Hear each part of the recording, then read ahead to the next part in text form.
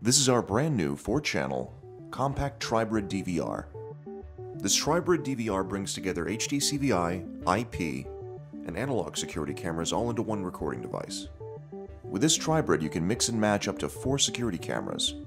With HD CVI and IP you can record up to 1080p resolution, and with analog cameras you can record up to 980h resolution. The standalone Tribrid does not have to be attached to a computer to run, as it comes with its own Linux operating system and intuitive interface, with no additional software needed, and can hold a single 4TB SATA hard drive.